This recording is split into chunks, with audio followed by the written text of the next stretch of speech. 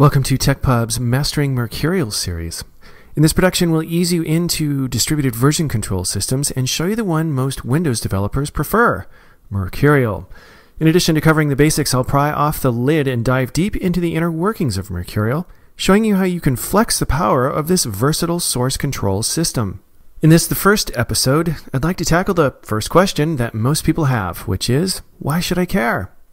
In short, the answer is an overall better development experience based on increased speed, more efficient segregation of your work by using branching and merging, and incredible reliability.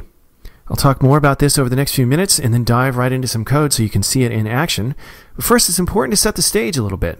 Why distributed source control is becoming so beloved by developers all over the world. All right, well, let's get started.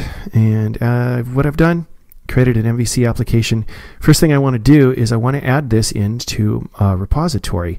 So with Subversion, you might right click here and hit commit or update or add or add to source control. But with Mercurial, you want to pop open the Windows Explorer and want to make sure that I'm at the solution level. I don't want to add the repository in here in case I add projects later on. So I head up to my demo directory where the MVC solution directory is kept. And I'm going to right click here, go to my Tortoise HG menu, and create repository. Simple enough. Ask me, do you want it here? Yes, I certainly do. Good. So it's pretty much understood that if you can get away from right clicking, then that's all good. But the thing that's probably better than alt tabbing and entering some commands is to push a button. So I want to do that right now. Let's speed this whole thing up. And so what I'm going to do is I am going to use the hgtk command. So to show you what that is, if I come over here and open up console 2, I type in hgtk, this is, see I did it again, hgtk. If we take a look at these commands, these are all the commands that the shell uses, uh, and they're right at our fingertips. So you saw me use one before, which was log. There's a number of other things we could do to pop up the uh, windows that we use a lot so let's do that. And I'm going to close this window. So what I'm going to do is switch back over to Visual Studio and I'm going to open up External Tools. And this is a menu item that not a lot of people use, but it's really cool. You can see I have Git already in here. And if I click on this command, it opens up the Git shell. Uh, what I'm going to do in here is just open up the um, status uh, thing. So what I can do is just say hg log. And inside here, I'm going to go to Program Files, Inside Tortoise HG, there's hgtk.exe. So I'm going to copy this path really quickly, close it, and put in this command backslash hgtk.exe. Good.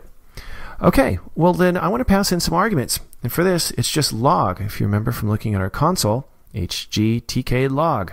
The initial directory, you want to make sure that it's going to be your solution directory because it's going to need to see the repository that's in there. Uh, for this case, I do not need to use the output window. I will show you how I can do that in just a second, but I hit apply. Good. All right, well, where is that command? It's buried right here inside of tools. You can see I now have a new menu command.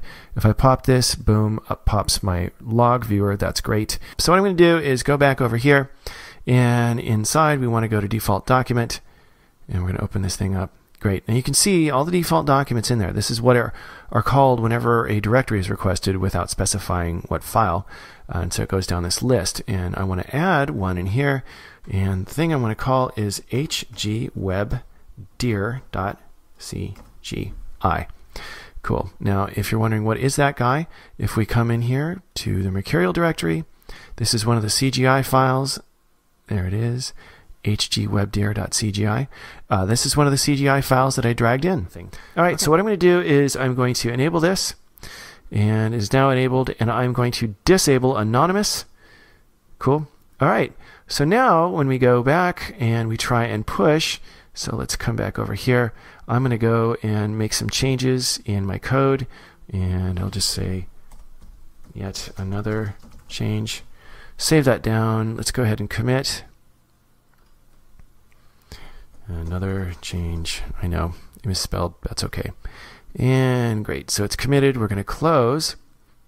And now I'm going to go to HG synchronize. Okay. So, origin push. Now I'm prompted with the logins. So what I'm going to do is I need to actually log in with my server. This isn't anything I've set uh, with Tortoise. Uh, it's just kind of saying, you know, server, interfere with this, please. Uh, and if someone comes through and their name is Rob, we're going to let them in. Okay, so I'm going to log in to my box, hit OK. Oops, authorization failed. I think I goofed up my login because I have caps lock on. There we go. So now I'm going to push, and up it goes. Change set, found, added. Cool. So now, likewise, if I come over here to this repository and I refresh it, it's going to prompt me for a login, which is nice and secure.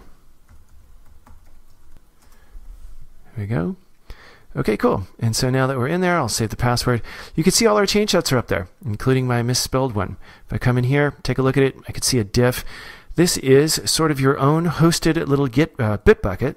Much more collaborative to use something like this than working with another team. In fact, there's a little graph that we talked about yesterday. This is up publicly, well, not publicly, but publicly accessible with the right authentication. Good to go.